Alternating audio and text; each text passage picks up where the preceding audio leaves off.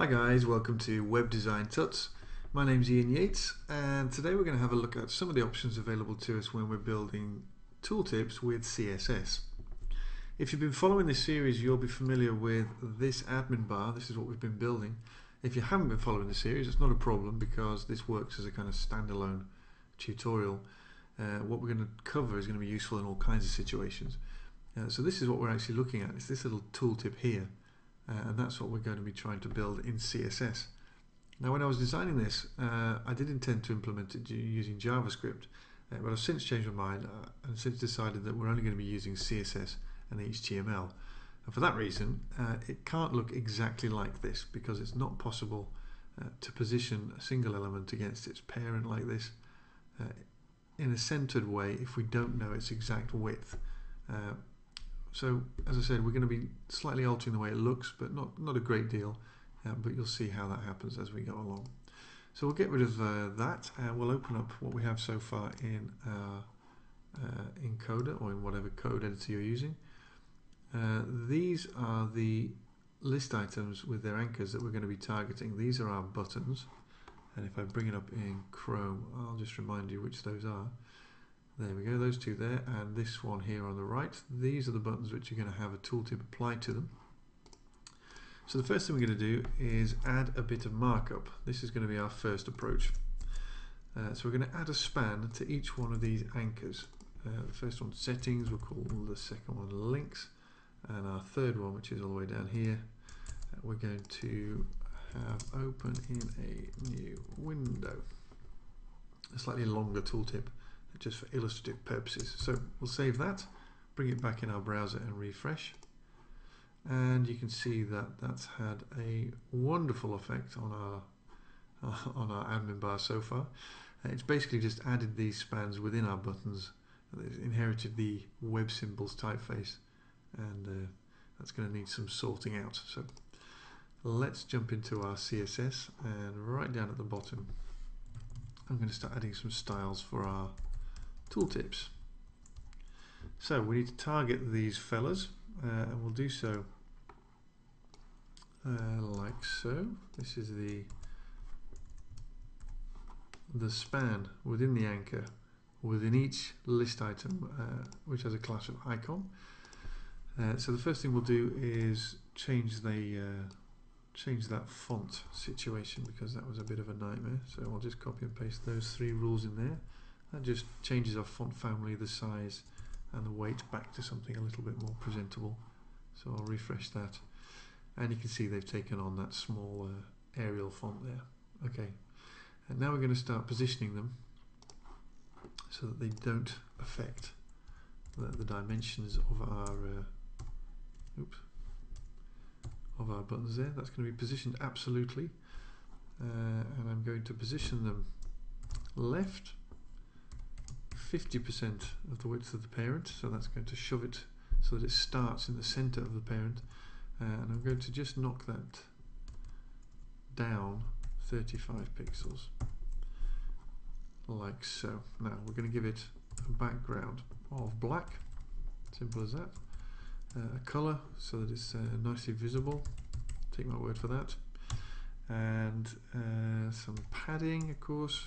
Nothing on top and bottom left and right a little bit and I'm going to give it a line height of 24 pixels and a corresponding height of 24 pixels which will vertically center the text uh, within it. So that should have made a significant difference already. Uh, that's I know why that's happening. We okay. So for kickoff, we have all of these things visible from the from the word go. They're only going to be visible when we hover over the parent, of course, but for the time being, that's fine. Uh, it's taken on the width of its parent as well, uh, and for that reason, it has uh, included a line break in here, which is why some of the text is disappearing.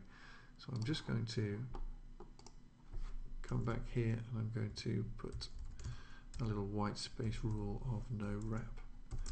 There we go, should bring that back and that will hopefully have improved that situation there. Okay, so there's the entirety of our tooltip. Perfect. Um, now what I'd like to do is add, using its before pseudo element, a little point just on its top left corner there just to further accentuate exactly which button the tooltip belongs to.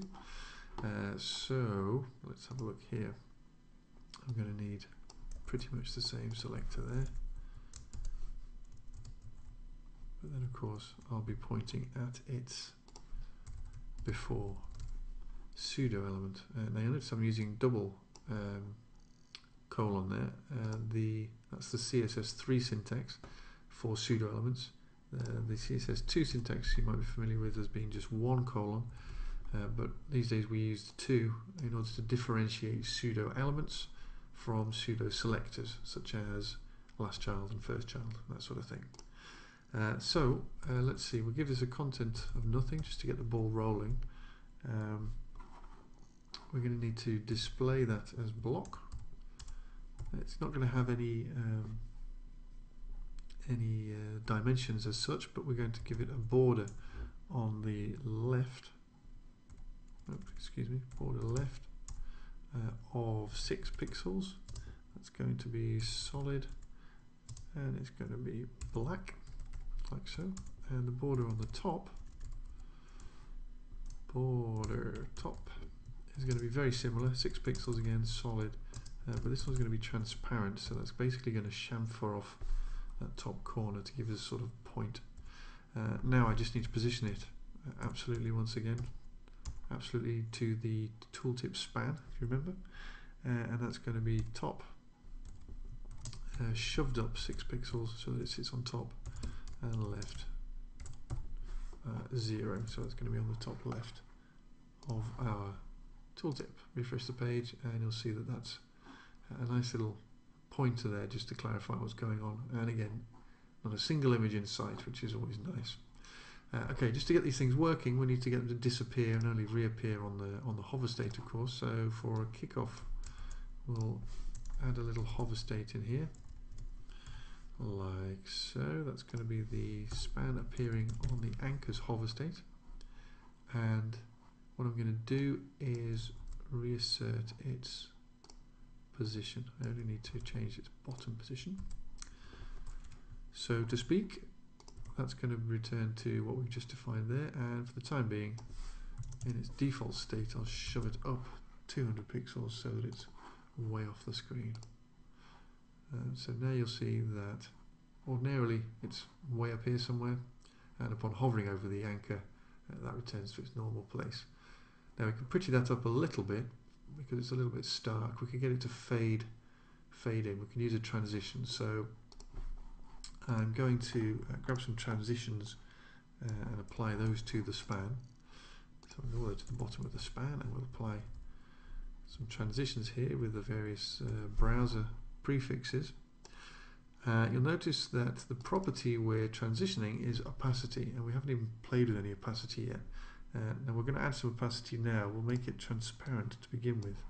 And the reason we don't want to transition its position is because it would then drift in from the top of the screen and that would look a bit weird and it could affect the hover states as well. It could affect where your mouse is hovering and that sort of thing. So let's change the opacity just here above here. So it's a default state we have an opacity of zero uh, and this is the Internet Explorer filter equivalent. Uh, so then on the hover, we need to uh, make it perfectly visible by giving it an opacity of 1 and we'll set that to 100 there for the IE filter. Uh, so that's just going to transition its opacity uh, and bring it in. Just a bit more subtle and that's a nice sort of fade in when we hover over there. Okay, that works perfectly well. Uh, but the quick tip doesn't end here, so it's not that quick probably. Uh, but anyway, what we're going to do now is improve things by cleaning up our markup because it's always nice to remove markup uh, when we don't need it. Uh, and in this case, we're going to use uh, an attribute to hold our tooltip value and we're going to use that instead. So what I'm going to do is get rid of that span and I'm going to add a title uh, attribute and that's what's going to hold our tooltip text. So I'll get rid of these other two spans and stick a title in there and this one I'm going to stick a title in there as well. Okay, so I'll save that.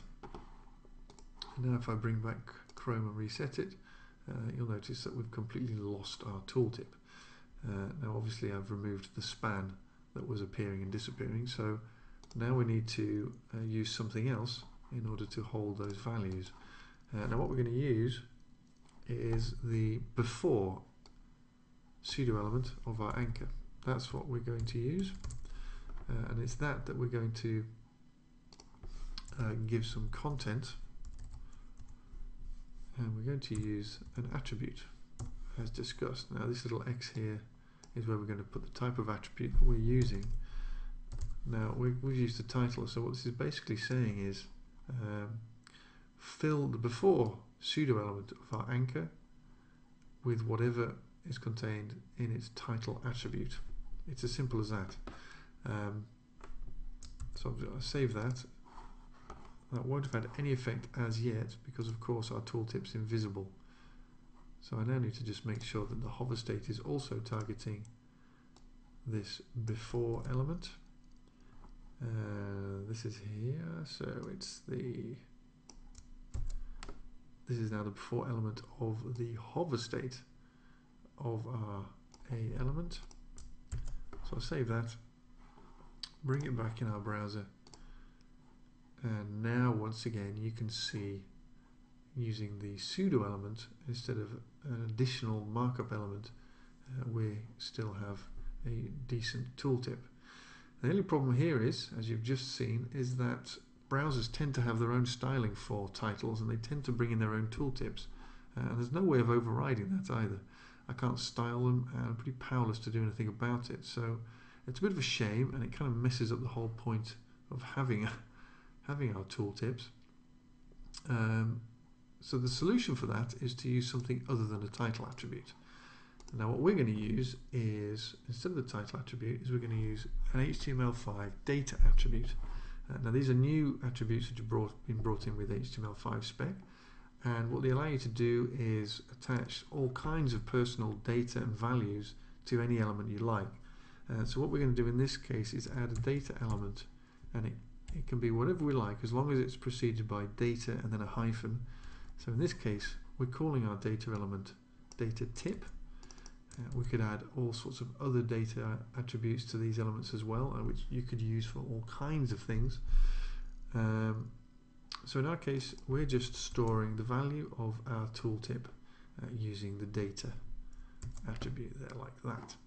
So the only thing that remains to be done is to make sure that in our CSS we're pointing instead of to our title attribute to our data tip attribute. So that's now going to fill our tooltip with, the contents of that. Once again, I refresh Chrome and you'll see that those have been brought back uh, perfectly neatly. Uh, now we can't apply a little pointer unfortunately because you can't have a pseudo element of a pseudo element um, and you'll also notice that in Chrome uh, the animation, the transition rather, has completely disappeared.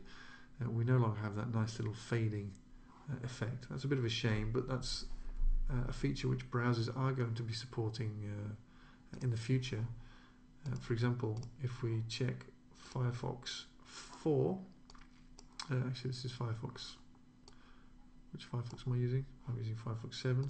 Anything above Firefox 4, sorry, uh, will actually support these transitions on pseudo elements. Uh, so that's that's perfectly acceptable uh, and quite nice. Uh, so that's the end of the quick tip. I hope you've learned something.